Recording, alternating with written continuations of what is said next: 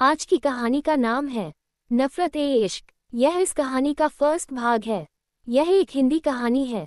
चलिए शुरू करते हैं। जल्दी करो बेटा, तुम्हें यहाँ से निकलना होगा। अगर वो लोग आ गए तो तुम्हें जान से मार देंगे। लेकिन मौसी, मैं कहाँ जाऊँगी? अभी तक मौसा जी भी घर नहीं आए हैं। सोनू भैया और सोनी जी वे दोनों दिखाई भी नहीं दे रहे। आप मुझसे ज़रूर कुछ छुपा रहे हैं। मौसी, बातें करने का टाइम नहीं है।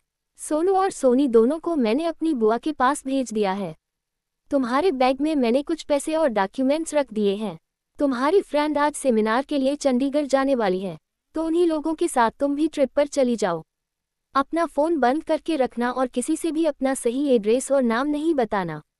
अपना सब आइडेंटिटी छिपाकर ही रखना। अगर तुम्हें मुझसे कांटेक्ट करना हो तो बगल वाली सरला आंटी के मोबाइल पर दोपहर के 12 बजे या शाम के 5 बजे कांटेक्ट करना। जब तक मैं ना कहूँ तुम यहाँ लौट कर मत आना और हो सके तो तुम उधर से ही मुंबई चली जाना और एक अच्छी सी जॉब ढूंढ लेना, लेकिन अपनी पहचान किसी को नहीं बताना। मौसी उसको पीछे के रास्ते से निकाल देती है और उसके माथे को चूम कर। अपना ख्याल रखना, रेशमा बेटा। रेशमा को रात के अंधेरे में पीछे से निकालकर उसकी मौसी दरवाज़ा बंद कर देती है और चुपचाप जाकर हॉल में बैठ जाती है। इधर रेशमा अपने माथे को दुपट्टे से अच्छे से ओढ़ लेती है, जैसे उसकी मौसी ने कहा था। और छुपती छुपती रेलवे स्टेशन अपने फ्रेंड लोग के ग्रुप में शामिल हो जाती है। अभी वह अपनी फ्रेंड से कुछ नहीं बोलती।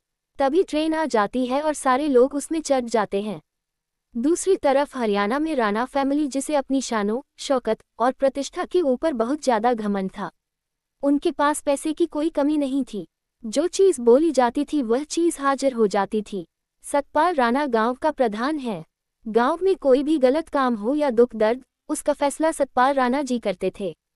यहाँ की पुलिस और कानून व्यवस्था को अपनी मुट्ठी में करके रखी हुई थी। कोई उनके खिलाफ जाने के बारे में सोचता भी नहीं था। इनकी पर्सनैलिटी कड़क स्वभाव की थी।